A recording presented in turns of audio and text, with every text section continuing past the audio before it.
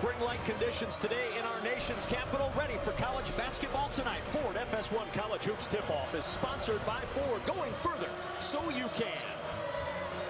And we welcome you inside Capital One Arena, where the Georgetown Hoyas are back home to take on the Xavier Musketeers.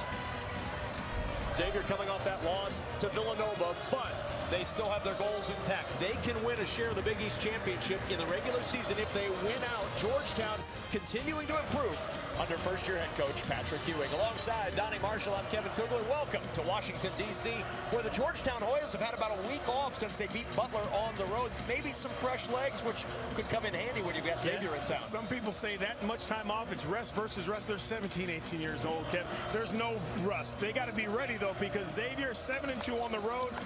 Most complete team in the Big East is on the other side of them. Well, check the lineups and a change in the lineups tonight for Xavier. In fact, for the first time since January 10th, Tyrique Jones in the starting lineup. I love that. You're going to match force with force, and that means you're coming at a guy like Marcus Derrickson or even Jessie Govan, who's very special on the other side. This game will be won in the paint. So we are ready to get this one started. Thrilled to have you with us tonight on FS1. These two teams went to overtime in the first meeting. Hoping for similar excitement here tonight in D.C. Quentin Goodin will bring it up for the Musketeers. He's been hot of late. 12 points per game over the last seven games as J.P. Macura goes to work. Very disciplined team, Xavier. They understand who they are. And I like the, the idea that they're giving Jones a touch early.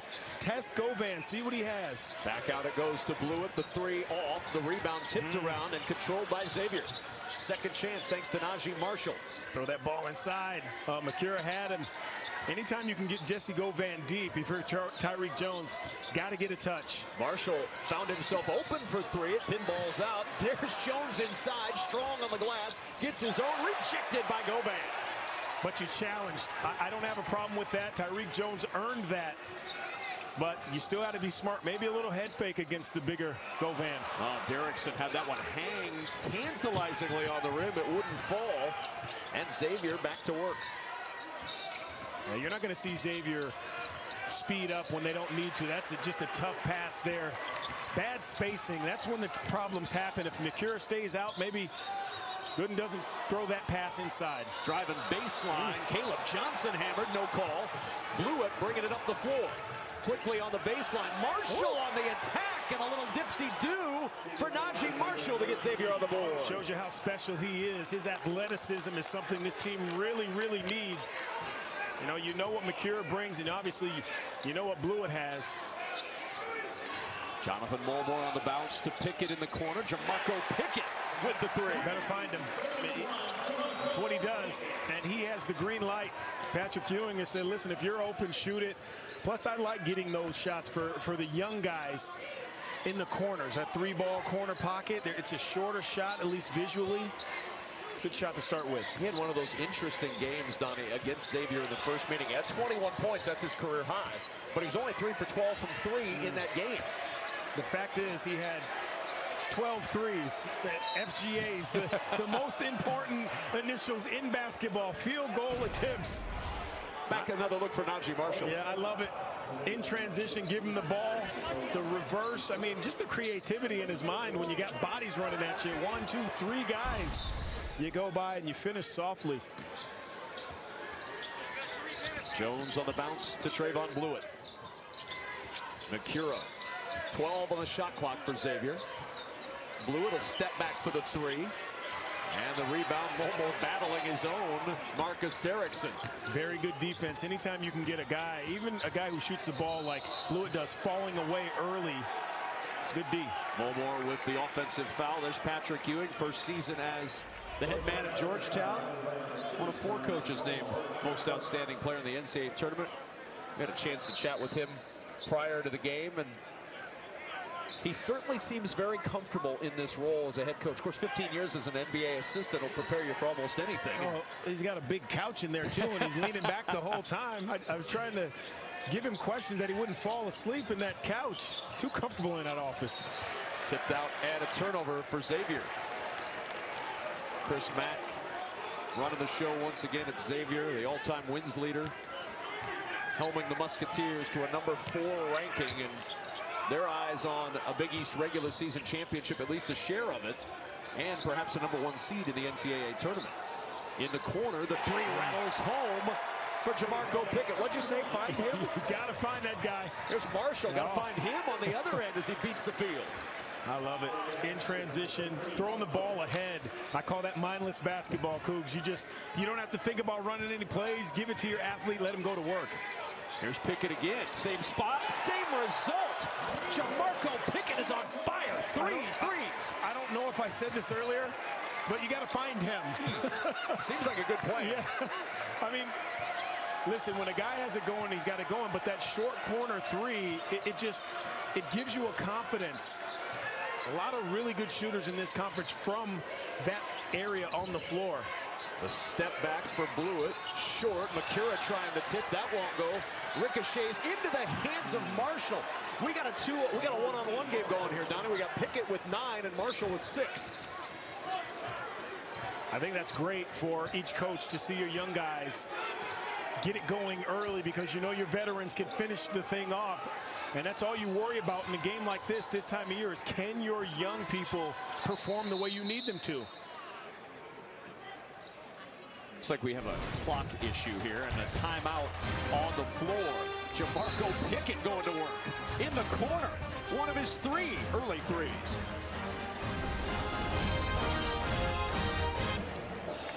Last time these two teams met, Georgetown and Xavier, just a few weeks ago, and it was a classic. We've had several like this in the Big East this year. This one, no different. It took overtime to get it done. Trevon Bluiett leading the way back for Xavier to get this game into overtime. Bluiett with the three and a foul. The clock winding down. A four-point play ties it. It goes to overtime, and Xavier gets the win 96-91. We were talking, Donny, with Patrick Ewing earlier today, and he says, I told him coming out of that timeout, you can't foul. Don't foul. They foul. And don't foul a jump shooter. I mean, that, you know, he, and he talked about Trevon Bluiett 31 points in that game, but what he failed to mention, which is what most coaches do, Jessie Govan had 23, Pickett had 21, Derrickson and Blair had 19 each. So that was, a, it was obviously a high scoring affair. Someone's got to put that ball in the basket, but he had four pretty good games from his guys as well. Just really one play they just forgot to what the coach told them to do. Jamorko Pickett three for three from behind the arc to start all in that left or short corner over there. We'll see if they go there again. He's in the corner. I like the 1-3-1, and we talked to Patrick Ewing about how you beat it. You got to throw the ball there, but now if Jessie Govan can make a couple inside, that's going to allow Pickett to continue to be open in that quarter. The 1-3-1 is there's one guy running the baseline defensively, and that's why he's gotten those three three-pointers off. 15 to shoot for Goodin and Xavier. Here's Bluiett to the elbow on the bounce to the hmm. baseline. Tyrique Jones misses the bunny. Got to keep playing, though. He got fouled, but you got to keep playing. Boy, yeah, nowhere better. to go for Pickett that time. He had Macura all over him, so Govan from the foul line breaks the spell. The first non-freshman to score in this game. Macura launching hmm. and hitting with the answer. A couple of things happening for Georgetown. They're finding the seams. They're finding the holes of this 1-3-1 defense Xavier's running. And not only that, Xavier on the other side, they're not going to panic. You know, they, they have veterans. They have guys who have done it. And you know, O'Mara between O'Mara, Macura, and Bluiett, they got 99 games under their belts. Macura, five points yeah. in a quick burst to tie it at 11. That's one thing for Chris Mack to have guys who have been there and done that, and they've been through a lot in their four-year career, the guys I just mentioned. But they're also very talented. you know, you can have guys who are at the end of the bench who don't have the talent, who have been there. They're not going to help you as much. These guys have it all.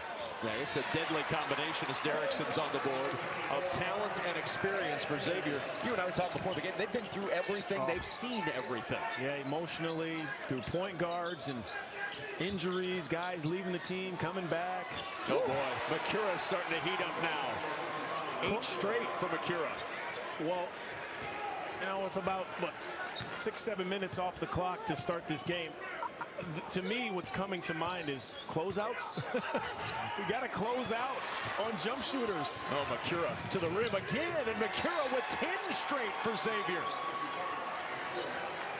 I love it. I, I, he is one of my favorite players, not just in this conference, but in the country, because I think sometimes people get caught up in, you know, he, he makes you play his way. Let's put it that way but he's also very talented. I think people lose sight of that because they see his hair flopping around. He's running all over the place. He's baiting you into different things. Macura is so talented of a basketball player. 10 points in 90 seconds for Macura. Low toss to Kaleb Johnson. Barely ripples the net with the three. What a start. This is the game you want now. The only issue I have with this, I love all the threes, but as your legs go, that basket starts to get a little bit smaller. How can you find other ways to score? Macura will try from deep again, this time just a bit short in the long rebound to Kaleb Johnson, accelerating quickly to the other end. Johnson with a left hand.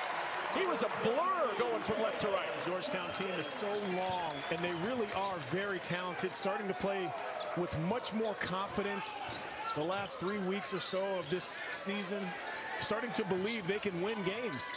Bluiett and out of bounds. Great play by Jonathan Mulmore. And that's the difference in my opinion, with Georgetown is can their guards get them into their offensive sets and also can they defend the perimeter? So many issues arise when you get Derrickson and Govan in foul trouble because you're getting beat off the dribble from the perimeter. Your guards can stand in there, get strips like that. And this is going to be a good finish to this season for Georgetown. Jagan Mosely Trey Dickerson on the floor for Georgetown. Kerem Kanter out there for the Look first time for Xavier. Oh. The ah. ball taken away by Scruggs. We're just talking about point guards. You got to take care of the ball. Ah. Kaiser oh. Gates with the three. They're going to mark that to make sure it is a three, but as of now, it stands as Xavier takes a one-point lead. If you're Mosely, you can't just come in the game and basically hand the ball to Xavier's guards. It's just, that's not how you want to come into a game that's going up and down again. Another turnover for Georgetown. And the time possession arrow will keep it with the Hoyas. And a oh, timeout on the floor. Yeah, Xavier knows who they are. They do a great job. They share the basketball, and boy, can they knock it down from outside. Big East, baby. Basketball on FS1 is sponsored by Jeep Grand Cherokee. From Capital One Arena in Washington, D.C. What a start to this game, Donny Marshall. 19-18. Xavier with the one-point lead. Georgetown shooting 64%. Four of five from three, yet they trail by one. Why do they trail? Well, Patrick Ewing explains in the huddle. You cannot just let him take the ball from you. I talked about that this morning. Do y'all understand what I, what I was talking about this morning about protecting the ball? You were talking about it. Handed two times in the last two plays. New guards off the bench, two turnovers or near turnovers with the second being the jump ball. Yeah, and even if it wasn't a turnover, as a player, you're thinking pace. When I come in the game, I don't want it to dip below what it already was. I want to bring energy. That's what my job is coming off the bench, and this is how you do it right here. There's Trey Dickerson with some energy. And Trey Dickerson can do that. He can bring that, and that's a misstep for Xavier out of timeouts. They are one of the most efficient teams in guarding the ball out of bounds uh, after a timeout, wherever that ball is coming from, side out, underneath, out of bounds. But for Georgetown, you got to maintain the energy that your guys came off the bench with. Marshall inside, forcing that one up. Rebound tipped around. Macura somehow secures it, mm. throws it at the rim, and it'll go out to Georgetown. Yeah, tried to draw a foul. Jessie Govan intelligently staying on his feet. But that was always a key as a young player for me in college was when I come off the bench, I want the same energy that I, that the guys coming in, coming off the floor had. I want to elevate that a little bit. And is that hard to do, having not been in the flow of the game? Oh, big bump there, the collision. And it's, a foul is going to be called on Paul Scruggs. It's not if you keep it simple. You know, if you pay attention to what's happened the first 10 minutes before you got in, okay, I see he's trying to shoot the gap. He's trying to steal the, the you know, the, this skip pass. I can't let that happen. That's a tough one. You think the guy's going to shoot it, you try to cut him off. Scruggs is a, a, a, big, strong guard, too. It's a way to stand the guy up, but you don't want to foul. Dickerson, a little hesitation to go. Van off the mark. Good defense by Xavier. Macura able to save it. And now Macura with 10 points already tonight brings it up. The bounce down low to Kanter. Kanter with a left hand. No, the tip won't go on the weak side, and the rebound to Georgetown. Well, look at this unit for Xavier. Three new guys in. Can again, can they maintain that same selflessness and also the energy and what they're doing? And you see Macura now is at the top instead of Naji Marshall in that 1-3-1, and that's what you don't want. You know, that ball goes inside. They know Kerem Kanter is not the best defender, we'll put it that way, in the Big East. He's more of a known for his scoring prowess. Georgetown understanding that, throwing that ball right inside immediately. Kaiser Gates with his first foul. Two whistled on Xavier, two whistled on Georgetown in the early going. Off the inbound, the lone jumper for Govan is good. Four points for Jessie Govan. A tough matchup for Gates down low. I, I think he's a, a, more comfortable wing, if you will, defender, mid-post defender. Akira working into the corner now. Scruggs to the rim, mm. floats it over Govan and in. Really have some nice pieces, Xavier. I, I, there are maybe Chris Mack can point them out, but there are not a lot of, if any, weaknesses on this Xavier team. You know, you're going to have lapses no matter who you are, and teams are going to make runs, but they are just a solid team. You know, they rebound, they hit free throws. Go Van strong on that board, and he's got six. And I think it's interesting that Chris Mack starts Tyrique Jones and then he goes with Kanter off the bench before O'Mara, who's now starting. He's going to come to the table and check in. Gives him a little bit more beef as well in that front line defensively. The fine Gates at the top of the key with a three. His second three of the night. He's got six, and we're knotted again at 24. Yeah, and you have really three, three and a half, eh, four guys for Xavier who can knock down a three on the floor right now. So that is just a difficult, difficult guard across the board for Georgetown right now. Mosely around the Govan screen, gets it back to the big man, and the baseline jumper is good. Jessie Govan heating up. He's got eight. Yeah, one of the best bigs when you talk about centers at that mid-range jump shot. I would say DeAndre Ayton at Arizona is the other one that's just has a deft touch from that range. On the drive into Govan, didn't matter. Gates able to put it in. Athleticism, right? Oh. I mean, you said on both ends. I mean, it's, yeah. it, you've got to be an athlete to a certain degree to hit those mid-range jumpers like we saw from Govan. Plus a lot of time in the gym. And and a little gifted. I think you got to have oh, a little no question, a lot gifted. genetically, right? You got to have some help from the parents. Macura Oh. Here's Gates all alone for three. And Govan with a one-arm rebound. Dodged a bullet there, Georgetown. Lack of communication. You can't leave the shooters that wide open. Someone's got to get to them, even if it's not your guy. Mosely to Govan again from the foul line. Govan five for seven from the floor. Well, we asked Patrick Ewing, how do you run your offense against the 1-3-1 of Xavier. He says we got to find the gaps with the dribble and we have to throw the ball to that high post area to Jessie Govan. They've done that effectively so far tonight. So Pickett scored nine quick points on three threes in the corner. Govan scored the last eight for Georgetown now. Kanter on the run. The left hand won't go. And a rebound by Govan. Already his fifth board. 10 points, five rebounds for Govan.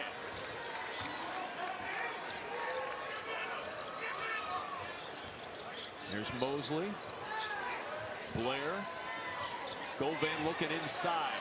Left hand hook for Marcus Derrickson. Good ball movement by Georgetown. I love the ball movement, but more importantly, it's how long or how short of time they have the ball in their hand before they pass it.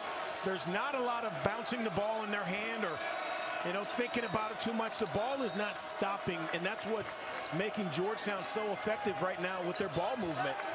Marshall on the drive against Govan, caught the rim and got it to fall. Naji Marshall with eight, and a timeout will be utilized with 6.46 remaining in the first half.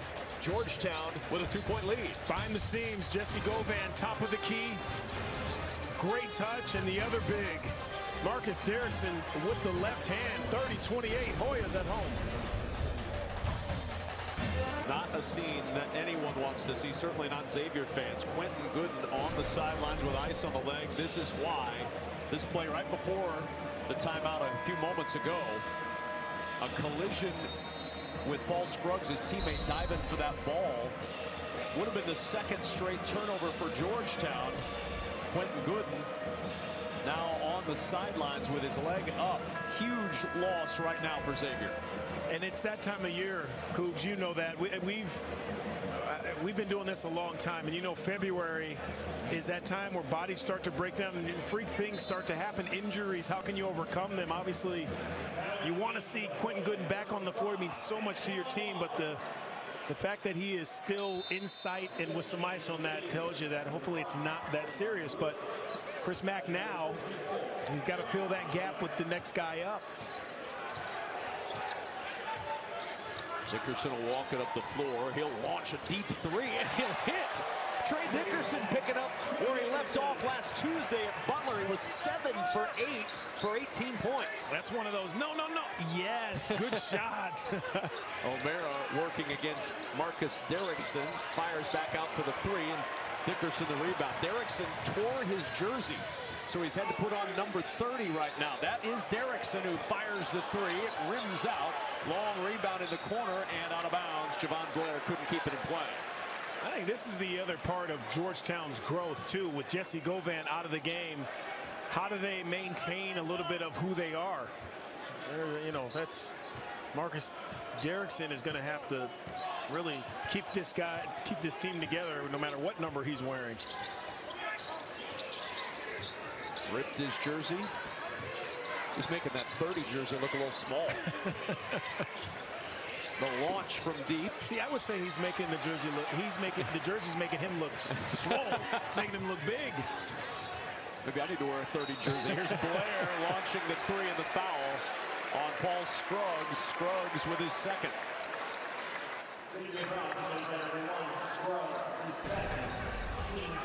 Sometimes you close out a little bit late. I mean, that's exactly how you want to play it. You want to contest late, but you just when you're contesting late, that hand's got to go from pointing straight at the guy's chest to straight up. So he can't draw that contact on you.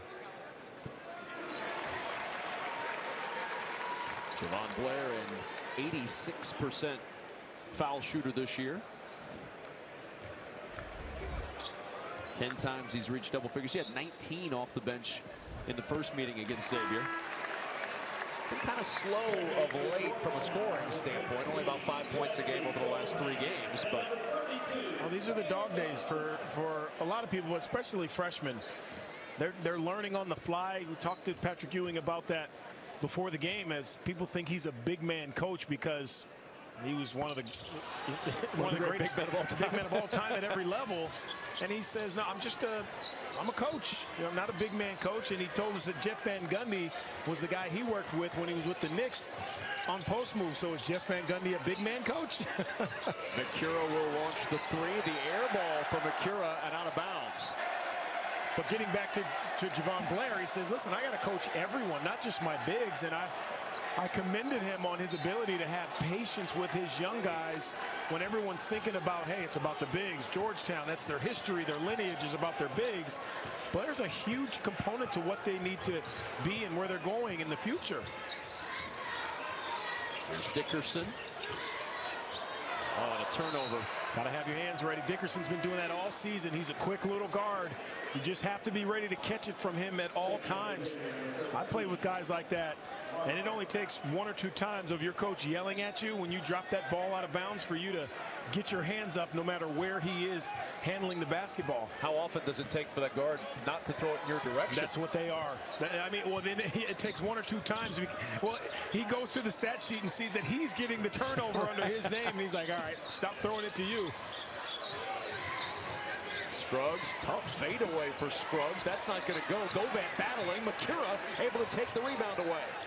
The bounce Bluiett. Still 0 for the ball game, but the so rebound good. by O'Mara puts it back up and in. So good.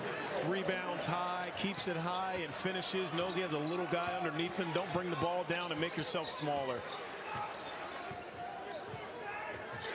Now, how often do you see that guy bring the ball down to about waist high and has it knocked out of his hands and taken away? Govan facing up against O'Mara. The fade away on the baseline. And there's Macura again for the rebound. Five rebounds for Macura. Baseline drive, nothing there. Rebound tipped around and a whistle and out of bounds Govan had a toe on the baseline. It'll stay with Xavier. I think you're doing a terrific job, even though Jessie Govan is five of seven. I think you're doing a pretty good job when you can force him to shoot jump shots. You know, as long as he's not in that paint, if, if he's shooting jump shots and they're contested, he makes them. God bless him, but you're doing your job. Great to see this. Look who's back in the game, inbounding right now for Xavier. Quentin Goodin is back in there. Trevon Bluiett can't get it to go. Rebound, poked free and taken away. Naji Marshall gets it back from Macura, the three, up and wow. down. Naji Marshall, what a spark for Xavier. He's got 11 first half points. I really believe every game I've done of Xavier's this season, the first person, everyone wants to talk about Trevon Bluiett and then J.P. Macura, but Naji Marshall's name is right there, right after those two, saying how special of a player he is becoming every single game, and you see it right there.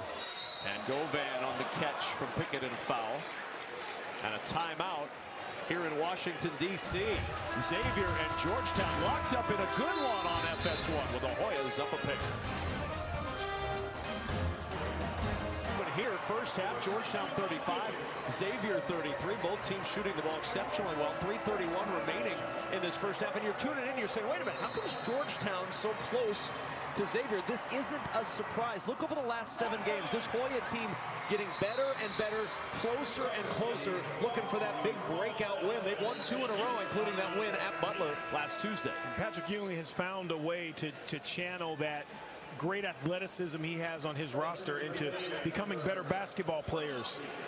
You know, he's really made them think their way through games. You hear him a lot when we go into the huddles or if you're at a shoot around or at a practice talk. Talking really been stressing about what they do in practice and how it translate translates into games. And and his team is he's affecting them in the in, in a positive way and they're responding. Jamorko Pickett had that hot start with nine points on three threes. Derrickson in the corner nine to shoot. Govan against O'Mara turns baseline mm. jumper falls just so simple. Drag dribble, two dribbles to your left. Give yourself enough room on that baseline to not be behind the backboard when you turn over your right shoulder for the fall away. Very Patrick Ewing-esque. Govan with 12 first half points. And the foul on Kaleb Johnson. Chris Mack's squad, fourth in the country, scoring 78 points per game on the road. They've been very good offensively away from home, too, almost 50% from the floor. This is not a team that is not portable from an offensive standpoint. Trevon Bluiett still trying to get it going. And usually you say defense travels. Well, Xavier's got the entire package traveling.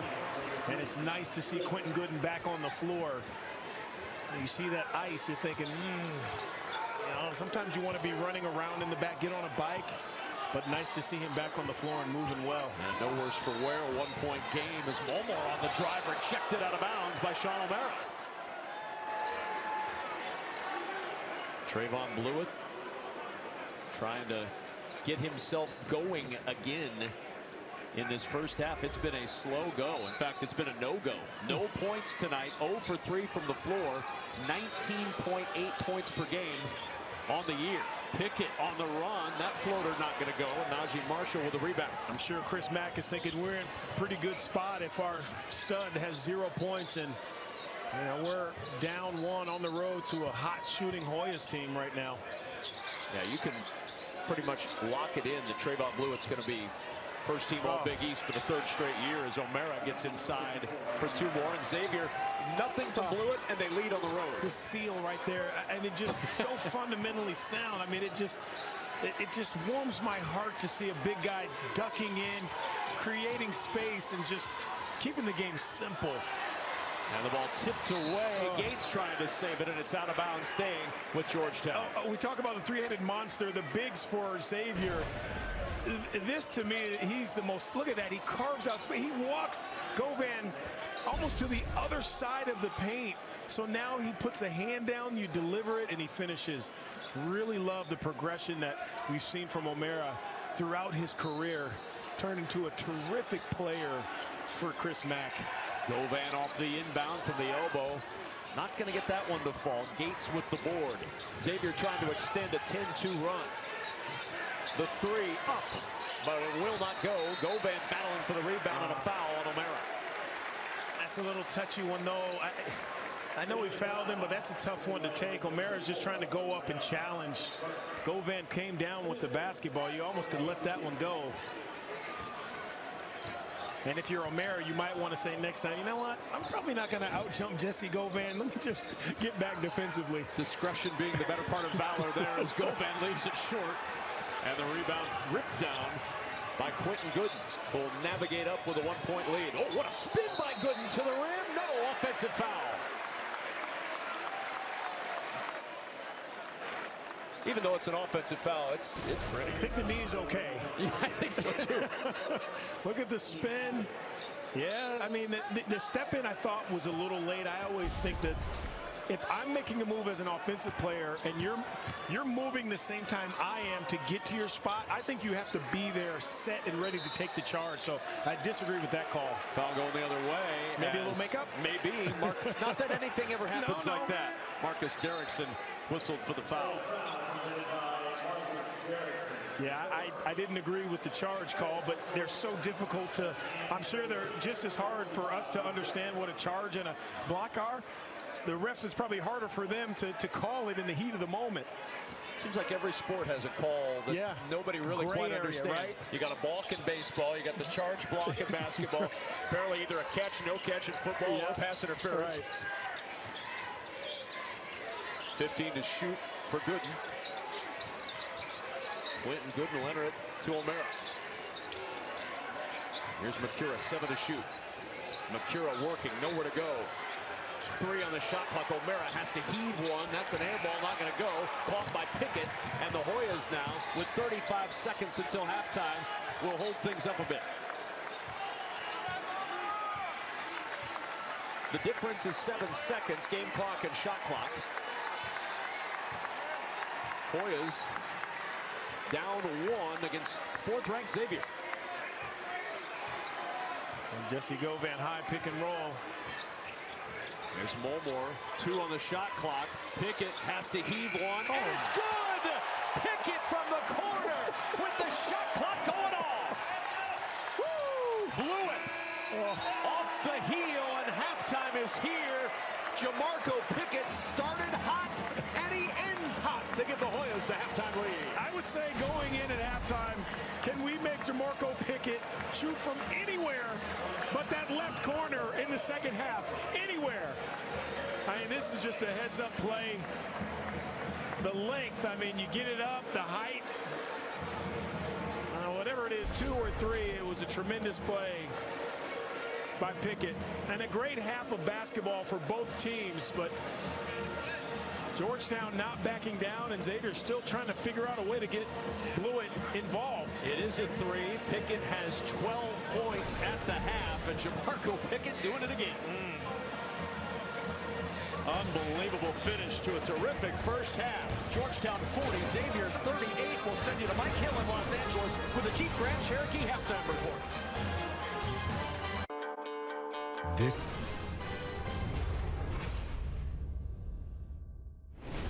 And I'm back with the madness. I'm a champion of the people who don't believe in champions. I got nothing but dreams inside. I got nothing but dreams. I'm just young enough to still believe, still believe. But young enough not to know what to believe in. Young enough not to know what to believe in. Yeah. If I can live through this.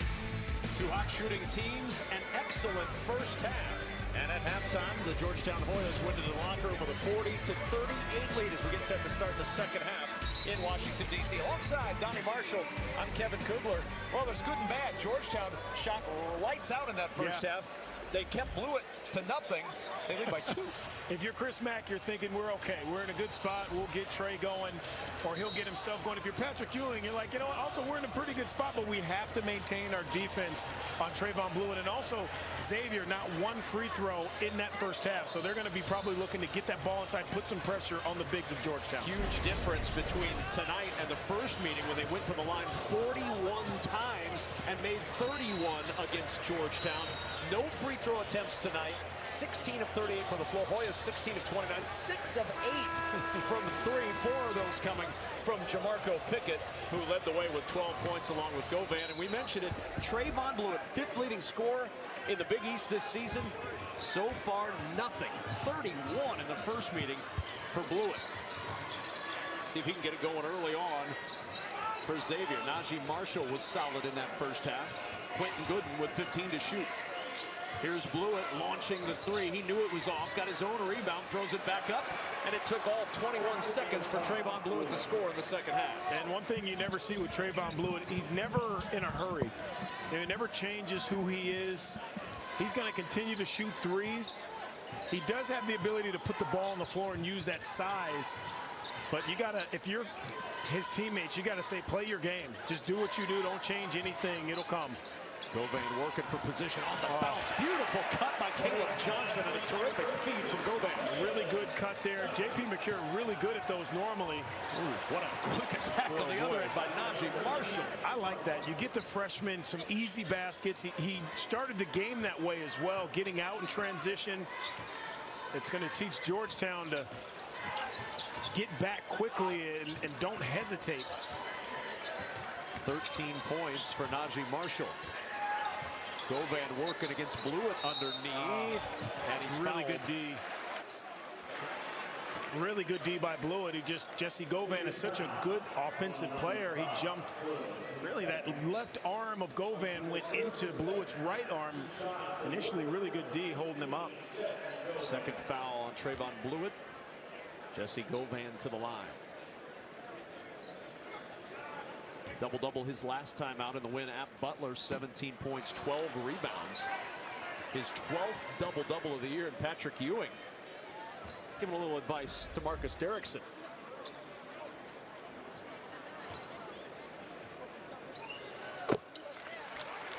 I like that. It's always a little bit, at least the experiences I've had with with my coaches and my teammates who have played for great coaches, Hall of Fame guys, it's easier to take the criticism from those guys.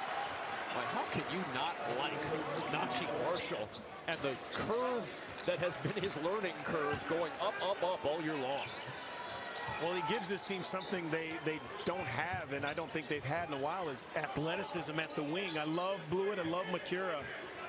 I think Naji Marshall laterally is their best player when you talk about him on the defensive end.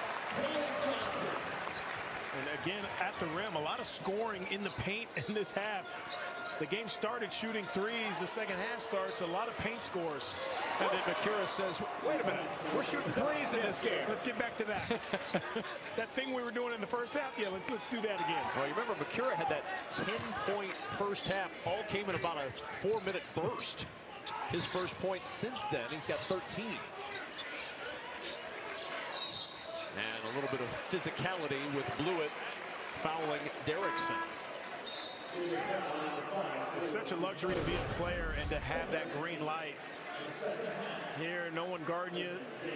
Almost NBA range right there, but Chris Mack has full confidence in Macura and Bluiett, and, and really across the board, his guys to be able to fire that thing up.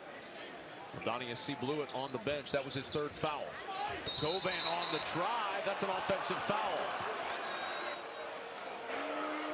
So Govan called for the charge. And it's going the other way to Xavier. You know, I always I always like to see the replay, but, but why? I mean, eh, not, what, what, is this going to tell us anything differently?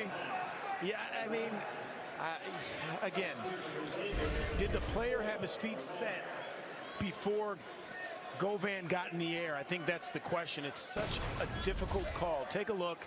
Better angle here. Again, it's so close. It's so close. I will say this, we've talked a lot about Naji Marshall from an offensive standpoint. When you talk with folks on Chris Mack's staff and around the Xavier program, they'll tell you he might be the best defensive player on the team already as a freshman.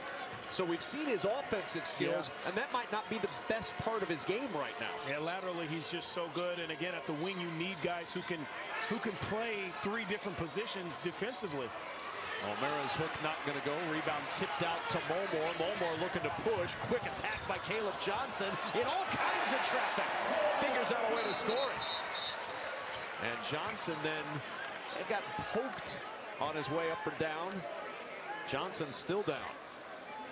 I love the feel of this game. It's got a a, a, new age Big East feel and an old school Big East feel. We saw him bumping and grinding in the first half here. Not the prettiest, but bodies flying all over the place. Guys getting slapped in the eye and love it. Pace is great. The physicality is great. You got a little bit of everything in this game tonight. Checking out Kaleb Johnson on the bench. He's got 11 points in this one, six in the second half already in a tie game oh. and a kick ball. Well, you missed the moment. You had the seal. O'Mara was perfectly sealed down there, and you're sometimes you start to play around with the basketball because you're not sure over the top bounce pass and you lose the moment. Xavier gets an extra three seconds on that shot clock as they'll put it at 20 with the kick. Macura popping out around the screen from O'Mara. Nine to shoot. Goodin around another O'Mara screen. Finds Gates in the corner. That three and air ball caught by Govan. Long pass ahead to Mulmore. Mulmore on the attack. The skip out to the right side. And Jamorko Pickett for three. Who needs a left corner for Pickett? He can hit him anywhere. It's just that side of the floor, I guess. But the step back, how impressive. Uh, balanced. And Macura wow. going to the line, trying to provide the answer for Xavier. I mean, this is just a, a fundamentally sound step back. You get a guy in, jab, step back, balance, elevate. Yeah, they better love it on that bench. The thing I like about Pickett, too, is that with 15 points, hasn't missed a three, five of five.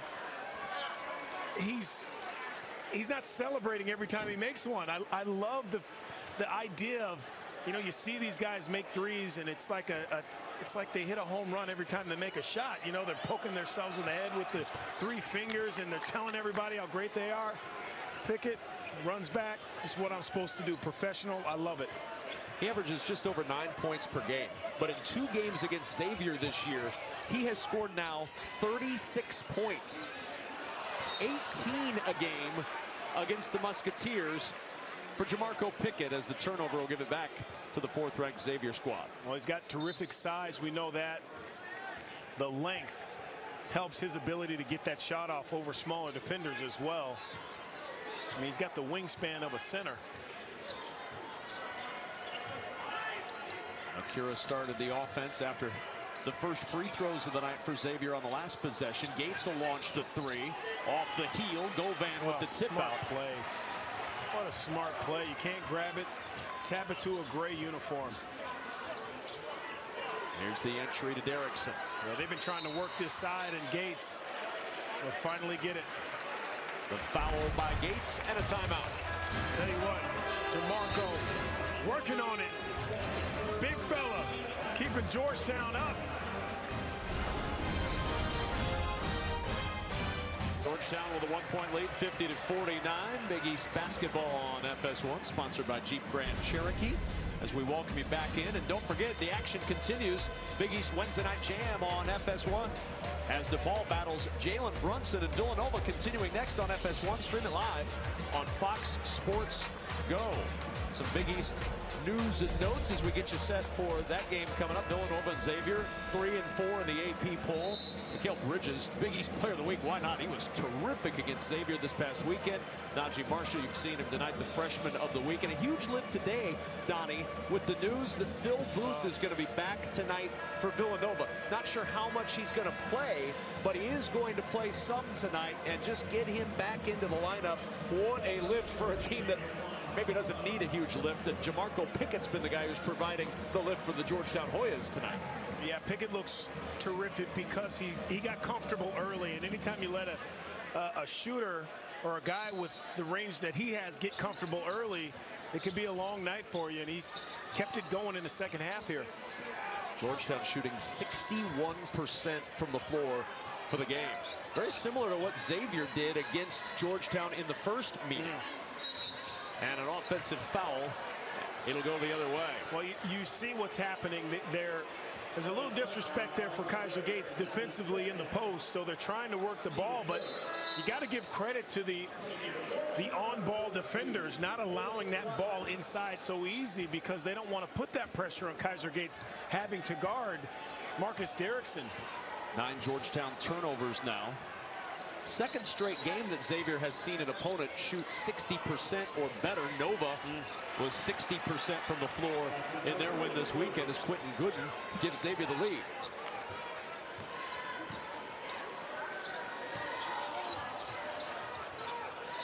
Mosely to Pickett, top of the key, the three, first miss from behind the arc, five of six for Jamorko Pickett. For right-handed shooters, it's a little bit harder turning your body over the left shoulder, knocking one down for Quentin Goodin. Again, there was a point in this game where we thought he might be done for the night with ice wrapped around the knee sitting in the tunnel after he tweaked it earlier, but looked really good on that three there. And a 7-0 run over the last minute 45 for Xavier.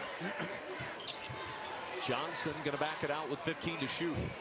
Trying to get it to Govan, but he is locked up in a battle with O'Mara. Govan to work. Double shows. Naji Marshall with the strip. Marshall on the attack and a foul on Jamorko Pickett. In transition. Again, Naji Marshall drawing some attention. But the defense, that's what it's all about. I like the Georgetown is being stubborn. They're saying we're going inside, but the help again on the perimeter really big for Xavier. They're not allowing their bigs to be put on an island down low. What we hear earlier when we were inside the huddle with Patrick Ewing, don't give the ball away. We can't give them the ball. Four Georgetown turnovers this half, sparking this Xavier run and a four-point lead. Goodin and an offensive foul is going to be called on Quentin Goodin. So Goodin with his second.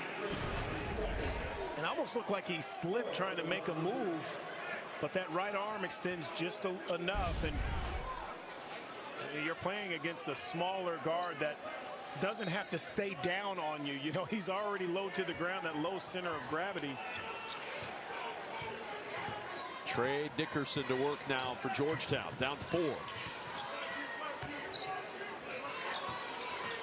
Dickerson stops, fires from three, rebounds Scruggs. Xavier, quick attack. I think Patrick Ewing would like to see them get those shots after it gets a touchdown low, but transition continuing to hurt Georgetown defensively. Patrick Ewing, I, I agree. Let's talk about it. A timeout, a 9-0 Xavier run. Listen, you, if you're not going to make a shot, you better get back defensively and try to stop somebody. Xavier trying to create some space with their transition game. Big East basketball on FS1 is sponsored by Jeep Grand Cherokee. Back in our nation's capital, the ball game. Xavier stretching the lead now to 650, 650, 1343 to go. Kevin Kugler alongside Donny Marshall at Capital One Arena. The Big East standing Xavier on top. And Donny, all they have to do, Chris Mack has said it, look, if we win out, one of our goals, get a share at least of the Big East Championship. They'll get that if they win all the way out. Of course, Villanova holds head-to-head -head this year with the Musketeers. And there's a great opportunity for Xavier to be able to do that. The rest of the way, they got they got Providence at home, and then they finish with DePaul. But it's the Big East, man. The bottom, say what you want about the records. The, the, the bottom is tough. Georgetown in trouble again and a jump ball possession arrow pointing Georgetown's way. So it'll stay with the Hoyas, but turnovers in this second half have been a problem, really contributing to the run for Xavier and nearly another turnover for Patrick Ewing's squad. And I believe that's what separates Xavier from even the, the, the teams that aren't that good in this conference and the rest of the country is that they just stick with their stuff and they wear you down and force you into turning the basketball over while they're maintaining what they do offensively at the other end. Dickerson gets to the well, but he can't get that one to fall. O'Mara with the rebound. I think the better teams do that, the complete teams. It's not just about your size and your positions, your depth. It's about how you maintain what you're doing in tough games and games that go back and forth. And Xavier does a good job of making you play their way no matter how close the game is. So much of that has to be experience. O'Mara trying to tip jam that one in. Couldn't get it to go, but another offensive rebound here. Scruggs on the attack, and that's an offensive foul. Scruggs collides with Marcus Derrickson. And the turnover back to the Hoyas. This is why some of those teams around the, the country do a good job of. See, I still think when Scruggs was in the air, Derrickson's left foot was still sliding into position. That's why I just, it's, I don't understand that. I, it's just the hardest thing, I guess, to call, but they say you don't have to be set. You got to be square one season. The next season, you got to be set outside of the circle. Who knows? You know, I'm just gonna. We'll just stop showing those. they just frustrate me, man. I don't know what a, char charge and a block are. Jeez. Attention, every FS1 crew the rest of the yeah, way. forget it. When Donny's on the game, yes. you don't get to show a charge. Yeah. Bluiett with his fourth foul. So Trevon Bluiett mm. averages 20 points a game. He has two tonight, and he has four fouls, and he sits down with 12.49 to go. Yet Xavier up by six. In the corner, Pickett trying the deep jumper, can't get that one, and Macura with a rebound. I talked to Chris Mack over the weekend doing a talk back from the studios in Los Angeles and asked him about that. You know, Trevon Bluiett is such a good player. And the first thing he said was he agreed, yes, he is, but we have some good pieces, a nice supporting cast around him. And Macura ready for the three, couldn't get that one. And that supporting cast, O'Mara, was the third big off the bench tonight, but he gets the tap out rebound, gives him another chance there. And Mosely was turnover. on the sideline and another Georgetown turnover. And the only good thing you can draw from this turnover is that it's a dead ball turnover, meaning now Georgetown has a chance to get back, set up their defense, and get ready for, for Xavier. The, the live ball turnovers hurt you. I call them pick sixes when they steal the ball, go down for a layup. Those really hurt in transition, trying to find guys. Hoyas, though, with the turnovers mounting, yeah. the scoreless drought mounting as well. Four and a half minutes that Georgetown has gone without a point in that span. Xavier a 9-0 run. O'Mara gets to the rim, the layup good and a foul. Sean O'Mara on his way to the line for one more. And a timeout on the floor in Washington, D.C. O'Mara, good position against Govan. The bump, the finish, and an eight-point lead. Xavier with an eight-point lead, 58 to 50. How can Chris Mack help keep the pressure on? Let's go inside the huddle a moment ago and find out what he had to say.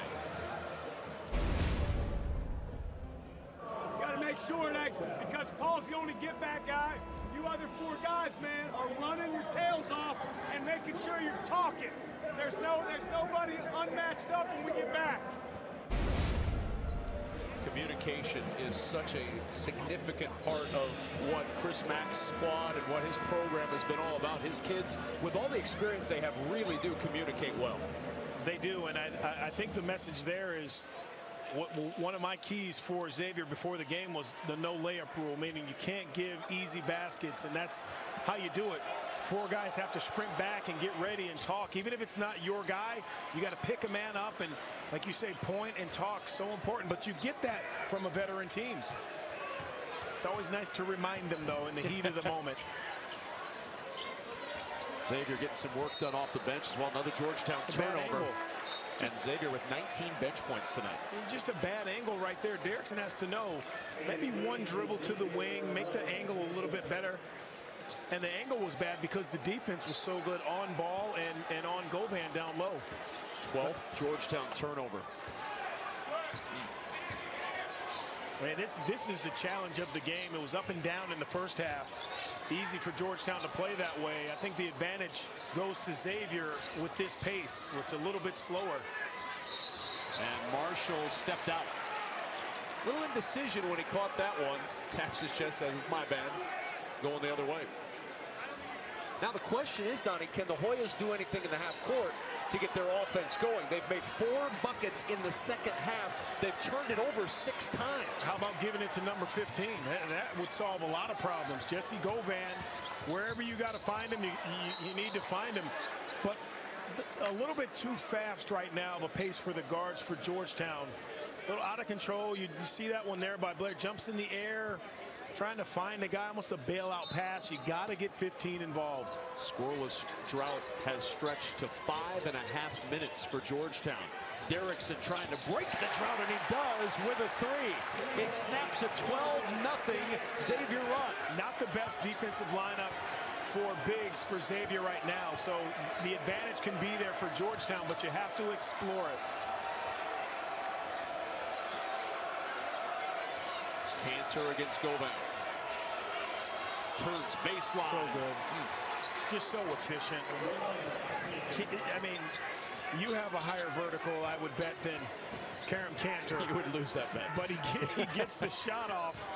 Just he just times it perfectly, so you can't time that. Blair, oh. tough three at the top of the key. There's Kanter with the rebound, jumping much higher than I could. Macura with the three on the other end, halfway down, and it pops back up. On the push, here's Pickett trying to get past Macura, and the reach-in foul on Macura. First on J.P. Macura. Got to be shooting here. Maybe one and one for Georgetown. Seven whistled against Xavier in this half. Five whistled against the Hoyas.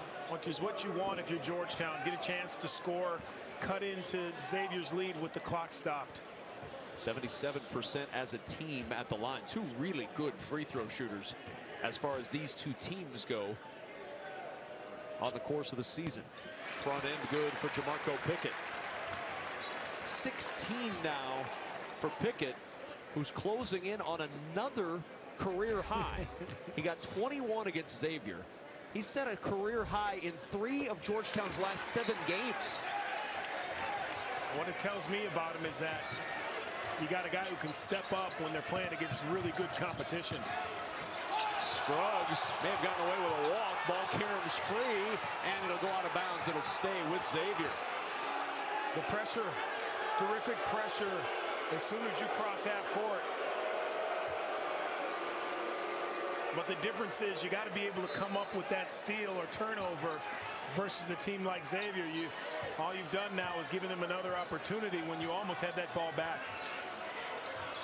Under 10 minutes to go. Here's Macura on the baseline and a bump from Dickerson. 16 foul on Georgetown. Well, that's the difference. If you come up with that steal, maybe you're going the other way and get a bucket. You allow Xavier to get another opportunity. A foul closer to the bonus now. And a chance inbound underneath their own net. Macura step back against Dickerson. Pops out. Derrickson the rebound. Despite that over five and a half minute drought, Georgetown within six. And we've got a whistle and a foul away from the ball. That'll go on Kerem Kanter. And a one-and-one -one opportunity here for Georgetown. That was a quick foul. They barely got established down low. And not really necessary. You know, when, in that situation, you almost you almost have to say, okay, he's going to catch the ball. Now I have to rely on my teammates to help me out when I'm down here.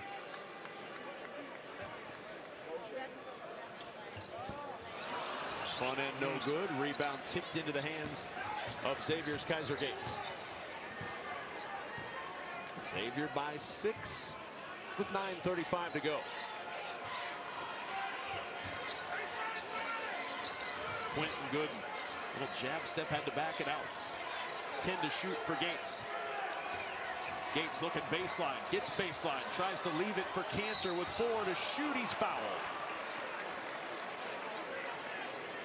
Kerem Kanter going to the line after the Govan foul. That's always a question that you have as a coach. You know, when we don't have our star playing the game the, the right way tonight as far as scoring goes, who, where's where are our points going to come from? And you'll take these opportunities right here from broken plays. Patrick Ewing will have to take Jessie yeah. Govan out of the game. That was foul number four. So Kaleb Johnson in. Govan leaves with 13 points. And that's a significant loss mm -hmm. right now for Georgetown.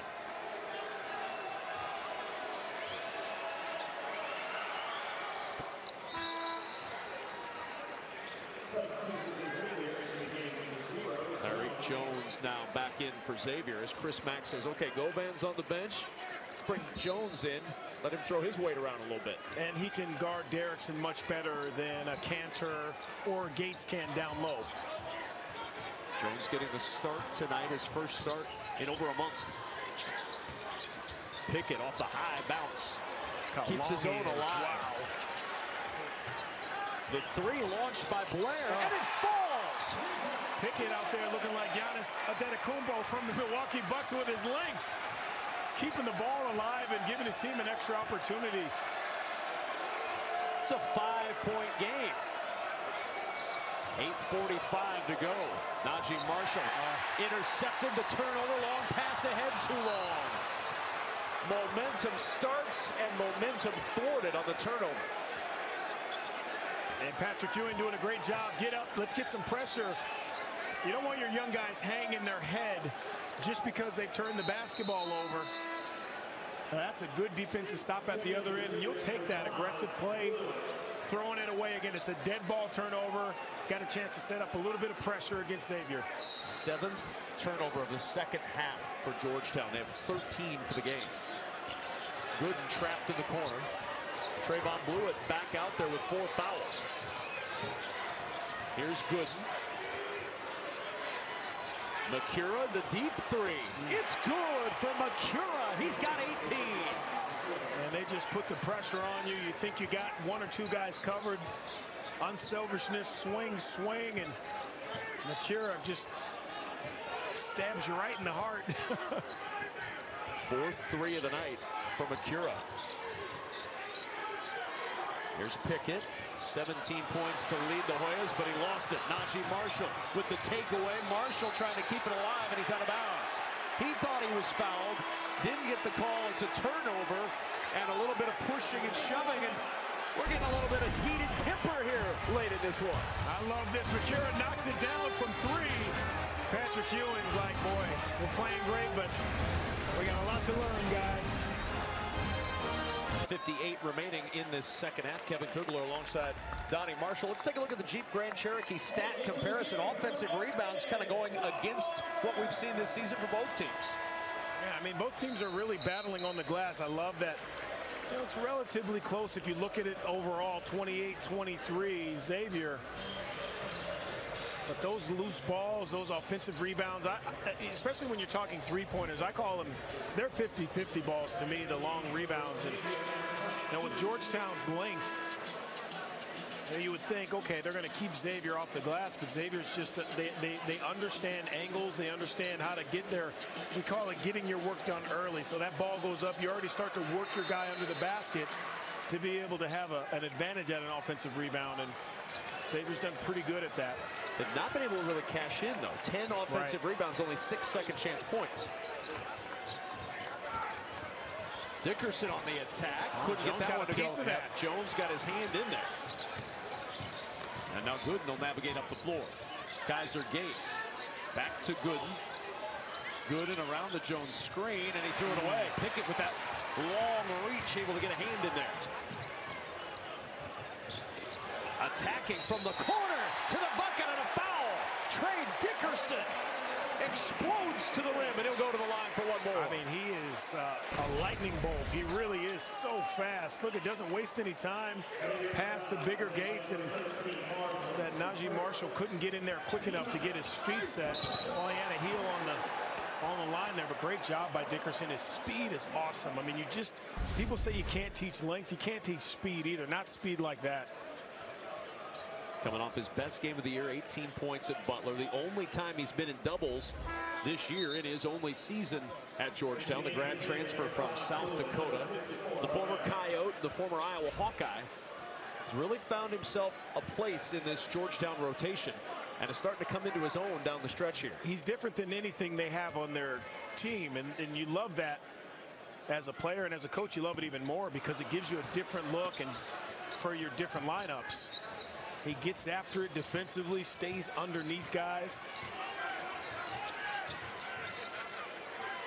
Six-point lead for Xavier. Trevon Bluiett tonight just two points on one for 10 shooting. He has four fouls. Macura picking up the hmm. slack, though. He's got 20. That's like a that's a horse shot. Underhand, uh, the, the underhanded scoop shot with the offhand. He's got a little bit of everything in his game. He's really stepped up tonight with the off night from Bluiett. I love it, man. I just, he's my kind of player. He gets in under your skin. One of those guys you hate to play against, but you love him when he's on your team. So gifted. Derrickson's fadeaway not going to go. There's Macura in there battling, but Blair able to get the offensive board and the putback. Quickly up the floor. Marshall on the attack out of bounds. Lost it off his leg. It'll belong back to Georgetown in a six-point game. Another one of those questionable calls if you ask Chris Mack, but coaches always want the call to go their way. But Naji Marshall, that could have been a jump ball, I guess, before it got to that point. Naji Marshall plays at a good pace, too. There have been a couple times where Chris Mack has said slow down. and Oh, my. Some ankles are broken out there right now. Blair fortunate to get a second chance off the miss. Here's Pickett. Derrickson backing down against O'Mara on the baseline. Wow. He wanted the foul, didn't get the call. Marshall, a little bobble up the floor. Uh, well, O'Mara had his hand straight up. That's the difference. You know, that the offense created the contact. And Derrickson skying for the rebound off the Macura miss. 5.45 to go. Dickerson will set up the offense. Working against Macura. Dickerson inside. The dish out into the corner. The two will not go for Blair. Offensive rebound lost underneath. Scooped up by O'Mara. Looking to push is good. Quentin Goodin weaving to the rim. Wow. Count it. And the foul. That's a terrific push. Great recognition. You have Macura open. Defense doesn't respond. He stays with his guy. It was Dickerson overplaying a little bit on the wing and good and using that strength, creating some contact with Derrickson still moving.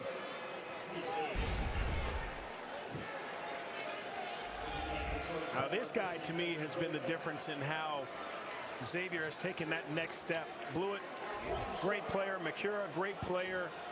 You got your three-headed monster inside. You're talking about the bigs with Jones, Kanter and, and O'Mara, but to me, it's all about Quentin Goodin and how he's taking control of that point guard position at both ends of the floor, being able to knock down shots and control pace with the dribble. And Donny, watching him accelerate there up the floor, it's hard to believe that earlier in this game, we watched him sitting on a chair with his leg elevated in the tunnel after a nasty collision with a teammate on the sideline. Yeah, wrapped in ice. That, that ice usually comes when you're done for the night. And the foul is called on Naji Marshall, reaching in his second, team's 10th, and that'll be two shots. I don't care for that call. I, I think you can call that any time in the game, any type of contact. There was no advantage there. You know, Pickett didn't lose the basketball. Now, Pickett loses the ball. Now, okay, I, I get it. Maybe there was some contact on the arm, but I think you can let that one play, especially with 5-16 in a good game here. Pickett first miss of the night at the line. Georgetown tonight just 5 of 10 at the stripe. They were fourth in the Big East coming in at 77% as a team. And in a close game, you hate to leave points at the line. Yeah, and when you haven't taken that many, it, it, it, it's glaring. It's more glaring when you've only taken 10, now 11 free throws. And you've missed almost half of them. No pressure applied again by Georgetown. Well, this is crunch time for Georgetown. It's small margin for error against Xavier. Got to take care of that ball, secure it defensively, and find guys. Macura off offensive rebound. Oh, Marshall. That just breaks your back. Good uh, breaks it even more with the three off the second chance. Yeah, and that's when you got to shoot it. When no one's out there, long rebound, a kick out. Great unselfishness by, you know, by Xavier and and the work on the offensive glass. Largest lead of the night. Xavier quietly extending to an 11-point advantage. Little up fake. Blair gets inside, short on the shot. Kanter the rebound. That's a freshman play right there, trying to do it yourself instead of getting your big involved. Remember, Govan still on the bench with those four fouls. Yeah, well, you look up at that score down 11 and only 418. I would say he's got to be the next guy in. Oh, what a three from Naji Marshall. Two gut punches from Xavier on the last two possessions to open up a 14-point lead. What else can you say, Cougs? They're just that good. They, they know when to strike here. Offensive rebound. Macura unselfishly finding Goodin. And then here, again, unselfish. The freshman Marshall from three, extending the lead for Xavier. And a 77-63 lead here for Xavier as our game summary sponsored by SoFi, rethinking personal finance. Xavier getting it done from behind the arc. 11 made threes tonight. 34 points in the paint for Xavier to 22 for Georgetown. Last game, that was reversed. Georgetown outscored Xavier 38-22 in the paint, but Xavier's been getting it done inside and out. And this Xavier squad, number four in the country, are we poised for another deep run from a Xavier team that looks like they're very much in the conversation, Donny, for a number one seed? Yeah, I think the deepest that they've ever had. I really believe that. If they can stay healthy, there's no doubt that this team can stay together. A lot of times you get some success late in the season. Teams start to players start to go their own separate way. They're thinking we're, we're graduating. I got to show for the scouts and all that. This is not a team I'm worried about that with. Villanova, Xavier, both number one seeds according to our Howie Schwab. And yeah. you saw three 10 seeds. Creighton has run into some hard times right now without Martin Krampelj trying to figure out some ways to get things done, readjusting that offense a little bit and that defense. How about a how about a Xavier Villanova in the Final Four? How about that? Meeting. Are you kidding me? Why not? I'll take that. Absolutely. Under four to go here. Govan back on the floor from the elbow, yeah. and Jessie Govan right back out there and right back to work. You He's got a double-double, 15 and 10. You got to score. You got to you got to go early in that clock too. Govan's 13th double-double this year, and Quentin Goodin's got to call timeout. Trapped by Mulmore and Derrickson. First field goal of the half for Jessie Govan brings Georgetown within 12 late. 3.42 remaining second half in Washington, D.C. with Donny Marshall. I'm Kevin Kugler. In one of our Wednesday night jam on FS1. DePaul going over to follow. J.P. Macura pacing Xavier to what looks like it might be their 25th win. He does so much for this team. We've talked about it from long range. He does the dirty work. He's a he's a rare player because he gives you the garbage. He gets those garbage points. He does the hard work, but he also can lead you in scoring as well. You don't get that from a lot of players in college basketball. They're either really fancy, pretty game, or they're they have an ugly game. He's got it all. oh my, Sean O'Mara with the two-handed stuff. He's got nine, and the lead grows back to 14. And you get guys like Sean O'Mara, who was the third big off the bench tonight, who's been a starter before, who's okay with his role. He just goes in, he's solid. He has to guard the best player on the other side and plays through it. Jahvon Blair with the three. He's better, in the double figures with 10. Better ball movement. Jahvon Blair earlier few plays ago forced the issue. That time he got it off of a pass. That's what you want. Gates, a little bobble, taken away, and a foul mm-hmm. by Kaiser Gates. Good pressure defense by Georgetown. And, and Patrick Ewing, I think every game finds something out about his team. And, you know, they've had some pressure late in the second half that's really disrupted Xavier at times. If you could get more consistent with that over a longer period, maybe, maybe you turn into a team of like the John Thompson teams where they pick you up full court and press you for 40 minutes. Got a chance to talk to Pops before the game. It's, it's always an honor to talk to John Thompson the second. He's a legend. He is terrific. Chatted with him as well. Always enjoy seeing him. He was in good spirits.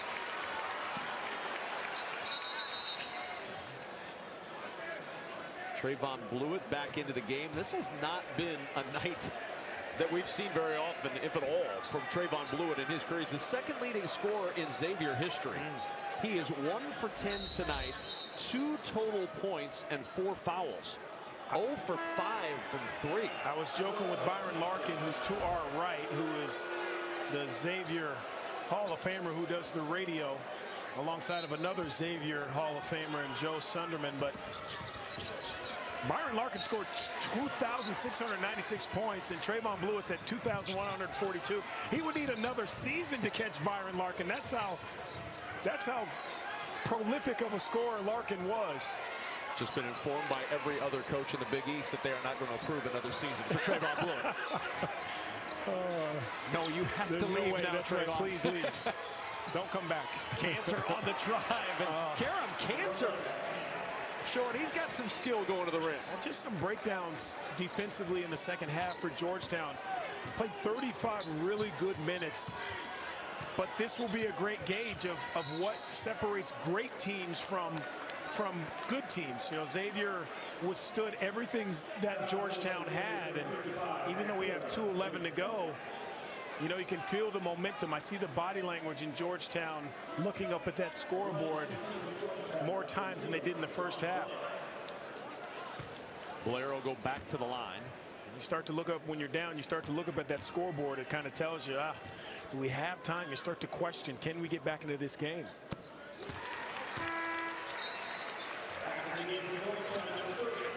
Patrick Ewing's team down by 10 with 2.11 to go. I would say he's going offense, defense, bringing Jessie Govan out, but Jessie Govan has allowed two layups the last two times down the floor. Trying not to get that fifth foul, but you got to stay aggressive.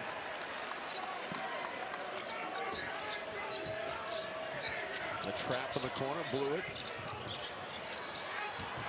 Got to get it over. Got to hurry. Here's it over. A little bobble. Got to get Back it it over. goes to Goodin Wow. just in time. Goodin the lead for Kanter, and Kanter with the reverse, not going to get it to go. Rebound poked out to Blair. Blair on the push. Blair on the drive. The scoop short, and Goodin the rebound. And now Goodin harassed, dribbling out of trouble and a foul called on Blair. It was a good play by Blair. The ball just slipped out of his hand. He couldn't get it back in the palm of his hand to get that high up off the backboard.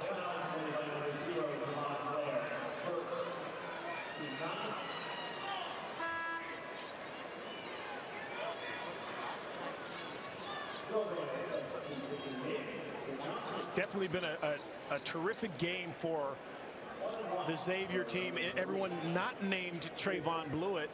And it just goes back to what Chris Mack told us on the weekend that we have a nice supporting cast around Trevon Bluiett. That that's what makes them, I think, one of the top two or three most complete teams that they don't have to rely on Trevon Bluiett.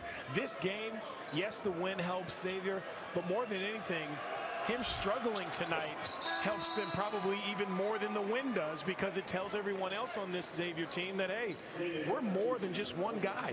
You know what's strange about Trevon Bluiett's night is that the last time Xavier played here was New Year's Eve of 2016. Trevon Bluiett in that game ended the night with one point. On the night against Georgetown, he was 0 for 10 on New Year's Eve, the last time Wow. here to play Georgetown. So in the last two meetings here, he is 1 for 20 from the floor in this building against Georgetown. Maybe it's just uh, not enough people in the building. I don't know what it might, could be for him. Some guys just, their eyes see different rims and buildings better and sometimes worse. I don't really even, uh, you know, as much as you want to say Georgetown did a good job defensively on him, and that's, I'm sure, what Patrick Ewing will say to his team, I didn't really see anything that was extra. You know, anything that ran two guys at him early, I just don't think it was his night for whatever reason. Got a clock issue here. Officials are going over to check on the clock. Trevon Bluiett. Looks like his night is done tonight. Two points, one for 10 from the floor. Boy, it speaks volumes, though, Donny, to this team that you can have a guy like Trevon Bluiett have telling you. one of the worst nights of his career. And you can still win by double figures, perhaps on the road against a Georgetown team that has shown some real signs of life over the last several weeks. Well, it tells you two things, how impressive Xavier is. What we've been talking about all night and also on the Georgetown side of how promising the future is for them. Know, this is still a, a, a team that's going to look even better with this, the same studs and supporting cast that they have that out here right now. They're going to be back. Quick Big East note. Providence and Seton Hall, their game suspended in the second half due to floor conditions. It was inordinately warm. If you're on the East Coast today, you know it. It was about 80 degrees in Washington, D.C. Yeah. today. And packed house at the dunk, and the floor got a little condensation on it tonight. And so they've suspended the game to a later date because the heat and the condensation and the packed building. They got some ice underneath that floor Yep. as well for their hockey team. Could have had something to do with it. Good to go to the line. Xavier up by 11 as Quentin Goodin, who's had a terrific night. That's his first miss from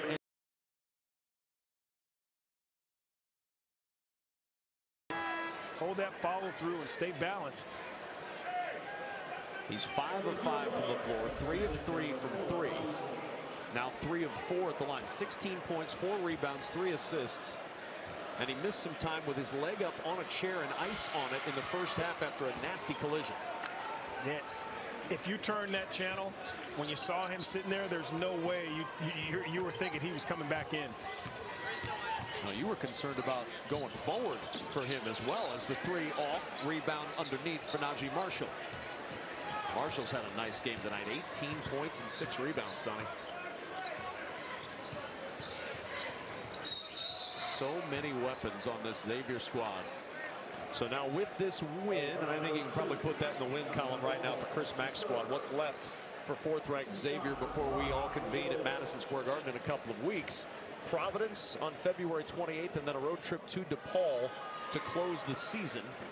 And again, if they win both of their games, they'll at least be able to claim a share of the Big East regular season championship. I think that's a good finishing schedule because you play a good Providence team that gives you enough to stay alert and stay aware. And then you finish with DePaul. A lot of times you play teams like DePaul who aren't going to any postseason play, NCAA tournament. And you, you, you could trip up there. DePaul's, they got a good team. They, don't let the record fool you. They, they will compete for Dave Leitao. So I, I like that schedule for Xavier finishing up. Timeout called by Georgetown. 51 seconds to go in D.C.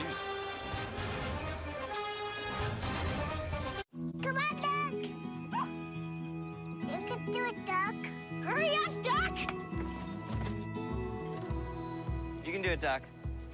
Iams helps keep your dog healthy at every stage, so you can always look forward to what's next. There's a secret in them Smoky Mountains. And it's my new KFC Smoky Mountain Barbecue, made by taking my freshly prepared extra crispy fried chicken and coating it in a sweet and smoky barbecue. Try it in a tenders basket at KFC, now just $4.99. It's finger licking good. Xavier fourth in the country. Potential number one seed with an 86-72 lead over Georgetown. 51 seconds to go. And the resume for Xavier is obviously very strong. You've got seven quadrant one wins and the quadrant one thing, it's a new deal. Quad one, two, three, and four. Home wins against an RPI top 30. Neutral games on a neutral court against an RPI top 50. And if you get road wins against a top 75 team, you get credit for a quad one win. They have seven of them. Fifth best strength of schedule. Number three RPI. And seven and two on the road. And with that resume, a lot of single digits in the key columns. And Howie Schwab has Xavier and Villanova as number one seeds, along with Virginia in the South and Kansas in the Midwest. You need a college degree to understand the quadrants. I, I, I know you did a great job of explaining it, Thank you. I read. but but I still need to uh, study the quadrants a little bit more. But I know what you're saying. Listen, quadrant one, those are the better teams. That's that's just, just what it is. If you win those games, you're in good shape. Jamorko Pickett, he's got 21 again. He's played Xavier twice in his career. Both times this year, he scored 21 points against the Musketeers. And for Patrick Ewing and this Georgetown team, they've got Providence over the weekend. A quick turnaround from Marquette on Monday. And Tough finish. You finish at Villanova. Yeah, I'll say very tough finish. Those are uh, character builders. That's for sure. And you want to go out on a high note if you're Patrick Ewing to have your guys give them some inspiration to go into the summer and come back better. You know, you just don't want to say, hey, we played a couple games close.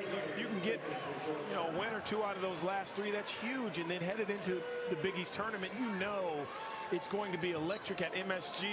Patrick Ewing's first time in that building as a coach if, in the Big East tournament. I mean, it's going to be electric for him, obviously, but his players have to be able to feed off of that and finish the right way. 40 seconds to go in this one. Derrickson fading away on the baseline. That falls. Derrickson with nine. 11 points, the advantage for Xavier. Mid-second half is when Xavier really took control of this game. Tight throughout. Georgetown led at the break. And led early in the second half. Last time they led with four minutes gone, Georgetown had a 50-49 lead, but Xavier since that time has slowly stretched it out. And back at the line goes Naji Marshall. I used to love these games when we're on the winning end because it's when you pad your stats. Just hold that ball a little extra, little, little longer, a couple seconds longer, and hopefully they foul you, go and make some free throws on the other side. It's like, okay, why are we prolonging this? Making the thing look worse than it really was. Mixed emotions on both sides. Marshall with 21 tonight. He had six in the first game between these two teams. And Xavier about to sweep their sixth Big East opponent this year. Going up, trying to throw it down was Pickett. Lost the handle on the way up, and nine seconds to go. Xavier just going to dribble this one out.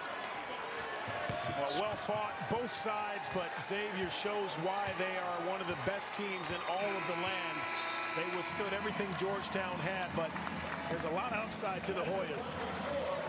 And a terrific performance on the road for Chris Mack's squad as they get the win tonight. 89-77 the final. Xavier now